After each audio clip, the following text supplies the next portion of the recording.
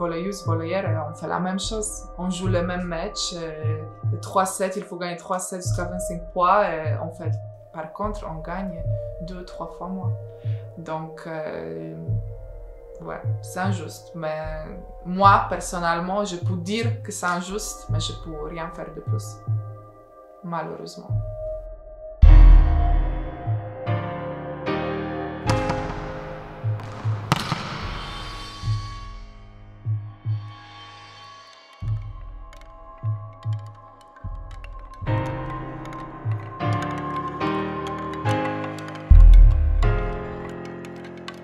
Avec les volets, c'était assez, assez simple. J'étais la plus grande depuis, depuis toujours. Déjà à l'école, j'étais beaucoup plus grande que mes amis. Donc, euh, je jouais au, au handball. Ça, ça c'était le premier sport que j'avais fait. Et après, le coach de volley dans ma ville, euh, il m'avait vu quelque part, il m'avait demandé de venir à l'entraînement. À un moment, je devais choisir entre volley et handball. Donc, j'ai choisi volley parce que j'aime pas courir. Donc, euh, oui, c'était, c'était le début. Mon rêve d'enfant, euh, ça va, euh, il n'y avait rien avec le sport.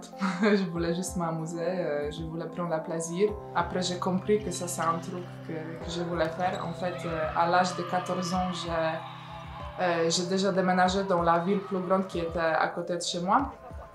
Euh, et le coach de, là-bas, de Wrocław, il m'avait demandé, avant de venir, il m'avait croisé sur les escaliers, il m'avait demandé euh, Petite fille, euh, est-ce que tu veux faire le sport dans ta vie? Et moi, toute contente qu'il y a un coach pro qui me demande, j'ai dit oui, bien sûr, je veux faire le volley.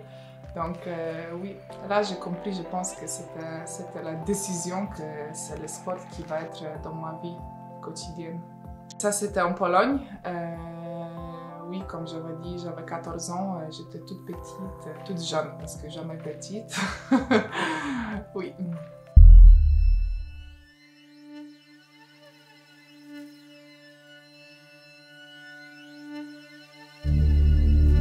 Euh, mes premières minutes euh, en pro, quand je jouais en Pologne, j'avais 17 ans et j'ai même pas attendu que je vais rentrer, que je vais mettre la pied sur le terrain. J'ai même pas attendu à ça.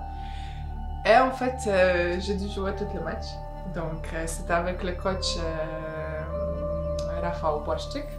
J'étais comme ça. Et le coach m'a tapé en face, il a dit Mais allez, fais pas honte sur le terrain. Dit ça, tu imagines? Et moi, à 10, 16 ans, à 17 ans, comme ça. J'étais tout en stress, en panique parce que je jouais contre les, les filles que je voyais en télé. Donc, euh, et moi, de mes 1m92, j'étais à ça, sur le terrain. C'était pas facile. Ma première minute euh, en France, en pro, en Ligue Pro A, euh, déjà c'était ma première saison après accouchement, donc euh, j'étais pas juste euh, une joueuse, j'étais maman et une joueuse. C'était différent. Euh, j'avais déjà mon expérience, donc euh, j'avais pas trop de stress comme euh, j'avais 17 ans, c'est pas la même chose. Mais euh, c'était assez bien, c'était parce qu'on s'est battu pour monter en pro, c'était à Nancy. Et, comme j'avais dit, hein, c'était après le long break pendant un an quand j'ai pas joué, donc euh, c'était bien.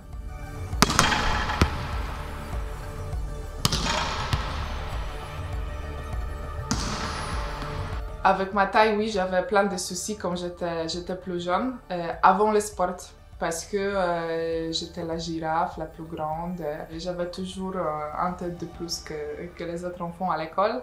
Au début, j'avais mal, j'avais mal au cœur. ça me faisait vraiment. je me suis pas bien sentie avec ça parce qu'en fait, les gens, les enfants, c'est ça. C'est les enfants qui se moquent de gens qui sont un peu différents que, que la reste. Donc moi j'étais un peu comme ça, j'étais la plus grande, la plus maigre. Euh, donc j'étais j'étais un, euh, un objet de toutes les rigolades entre les enfants. C'était difficile. Moi j'étais plutôt la personne qui a baissé la tête et qui voulait pas trop euh, rentrer dans les, dans les discussions avec les autres. Là, je sais que ma taille c'est un avantage qui fait que je suis là où je suis. Et je suis sept personnes. Donc, donc ça, c'est essentiel, je pense. Maintenant, j'ai 1m92 et je suis fière de ça. C'est un avantage pour moi. En fait, j'adore ma taille.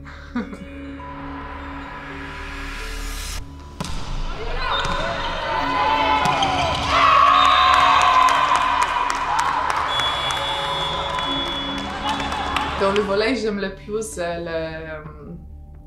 la confiance que le sport nous donne. Euh, moi, personnellement, quand j'étais petite, j'avais pas de confiance en moi. Et là, je m'aime un peu trop.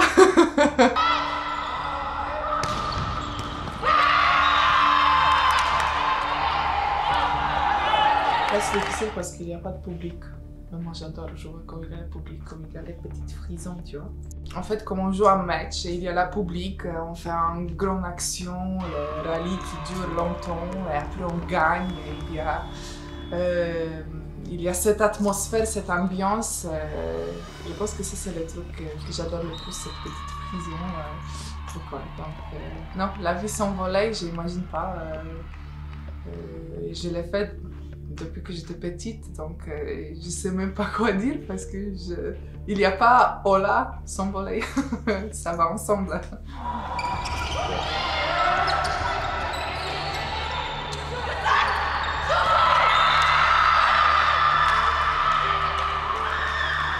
Avant le match, euh, j'ai un rituel. Chaque samedi est pareil, plus ou moins pour moi. Euh, j'aime pas quand il y a une chose qui vient qui me change mon rituel, ça j'aime pas. Je dors bien, je mange mon petit déjeuner avec, avec ma famille. Après on sort euh, toujours se promener un petit peu dans un parc autour de chez nous, on s'amuse euh, pour, pour que je ne pense pas qu'un match pendant toute la journée. Quand on rentre à, la salle, je suis presque prête. Après la vidéo, on a, on a 10 minutes pour nous, pour faire la couette, pour, euh, pour se faire en poubelle pour le match. Euh, donc c'est ça, il n'y a, il a rien d'extraordinaire, c'est juste le truc euh, basique. Par contre, si par exemple je ne me promène pas dans la journée de match, je me sens pas bien. Je dois le faire, je dois sortir de chez moi quand on joue à la maison euh, avec ma fille, je vais passer le temps avec elle. Donc ça, c'est très important pour moi.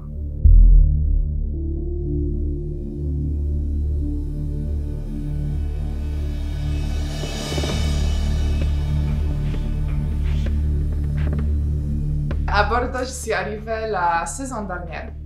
Je voulais rester dans un endroit avec ma famille. Euh, déjà, j'avais marre de déménager chaque saison, de changer euh, l'école pour ma fille, euh, le travail pour mon chéri. Donc, donc ça, c'était compliqué. Donc, on a cherché un petit peu l'endroit où on pouvait se poser. Et on avait la bonne proposition de, de Bordeaux. C'était aussi un peu grâce à la passeuse qui était l'année dernière, grâce à Ori. Merci Ori.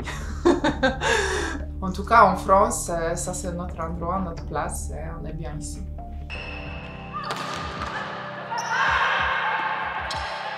Chez The Bordies, je me suis sentie très bien de, le départ. Toutes les gens qui travaillent au club, les deux présidents, je me sens vraiment très bien. Ce sont les groupes de gens que vraiment j'adore. Euh, en fait, je pense que ça, ça fait aussi cette euh, sensation que ça me donne envie de rester, de plus bouger, parce que euh, il y a les gens autour de moi qui, qui sont gentils, qui sont bien, qui me portent le bonheur à Bordeaux. Cette saison, on a une équipe bien mélangée, parce qu'on a les filles jeunes et on a les filles avec l'expérience. Donc, euh, on s'entend vraiment bien. On est un groupe de gentilles euh, filles qui, qui, sont bien ensemble. On n'a pas les groupes dans l'équipe. On est une toute petite famille euh, entre nous. On, s'amuse en fait avec le volet. Bien sûr, on travaille. mais hors de ça, on aime bien de passer le temps ensemble. Donc ça, c'est vraiment très bien. Euh, et moi, comme une fille déjà avec expérience, euh, j'ai apprécié ça beaucoup. beaucoup.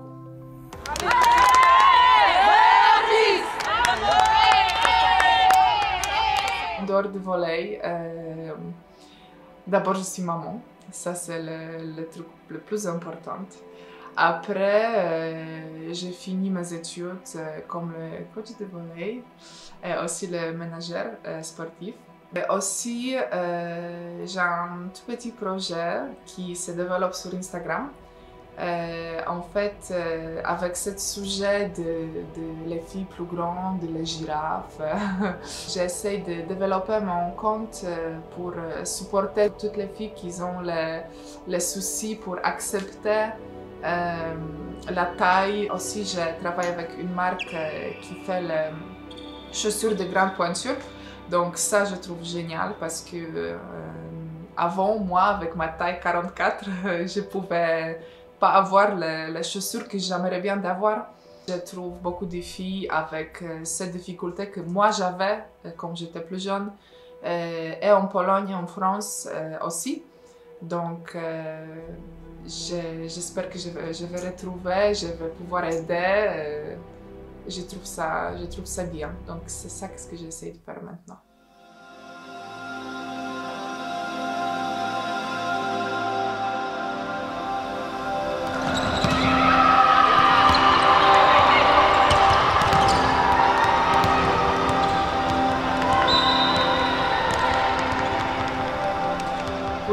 comme euh, une joueuse euh, pro, hmm, ça, me touche personnellement que nous, comme, euh, comme les femmes, on n'est jamais, et je suis sûre qu'on va pas y être pendant longtemps encore, à même niveau que, que le sport masculin. Dans les médias, on est presque nulle part. dans, les, dans les informations, euh, dans, la, dans la télé, il n'y a, a pas beaucoup d'informations sur nous. Euh, déjà dans le journal, il y a, moitié de page et ça c'est déjà super. S'il y a une photo, c'est encore mieux. Je ne sais pas de où ça vient, mais il n'y a pas égalité. Euh, c'est triste, c'est dommage. je pense qu'il faut se battre pour ça. il faut faire au plus possible. Aujourd'hui, euh, on ne peut pas parler d'égalité au niveau du sport féminin masculin. En médias, j'aimerais bien te dire que euh, il faut ouvrir les horizons, ouvrir les yeux, euh, peut-être s'intéresser un petit peu plus sur le sport féminin parce que peut-être les gens en médias, ils ne connaissent pas le sport féminin. Euh, il faut juste venir voir un match parce que je sais qu'il y avait plein de gens qui sont venus, par exemple, regarder nous en train de jouer et qui se, qui se sont amusés vraiment beaucoup, qui ont décidé que oui, on va revenir. Surtout que pour moi, le sport euh, féminin, il, euh, il mérite la, la, même place au monde comme le sport masculin.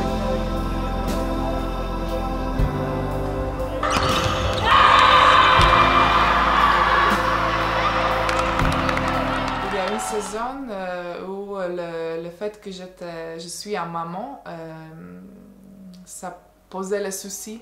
En fait, euh, pour moi, c'était assez discriminant et j'ai vécu ça, ça assez mal. C'était la saison difficile pour moi parce que toutes les toutes les fautes, toutes les mauvais choix, l'entraînement, euh, mauvaise match, mauvaise action, c'était parce que euh, je suis maman. C'était en faute que je suis fatiguée, que je, ne sais même pas, euh, parce que c'est pas vrai. C'est pas vrai, même au contraire, ça m'aide beaucoup pour être mieux organisée.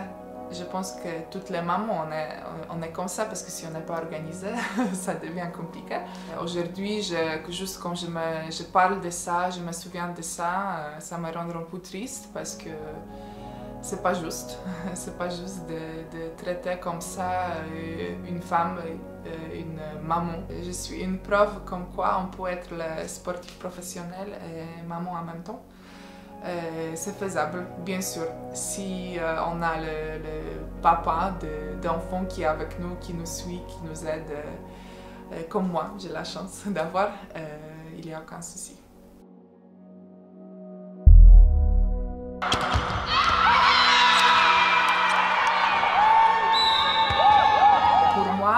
Le match, hum, c'est peu la fête. On doit se sentir bien dans notre peau. Moi, pour moi, maquillage, c'est un truc euh, que je fasse chaque samedi avant match.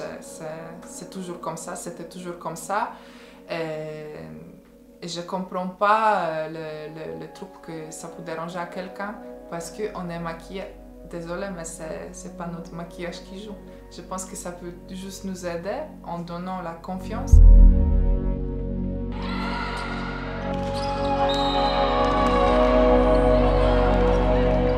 Par rapport au salaire, l'égalité, euh, ça n'existe pas. Les garçons, euh, ils gagnent beaucoup plus. Euh, je ne sais, pas, sais pas trop pourquoi c'est comme ça, pourquoi le, le sport féminin est pas importante pour les gens parce que c'est surtout les sponsors qui ne sont pas intéressés, c'est surtout les grandes marques qui ne sont pas intéressées. Je veux dire que c'est injuste que, que les femmes, on est là et les garçons, ils sont, ils sont beaucoup plus hauts au niveau du salaire.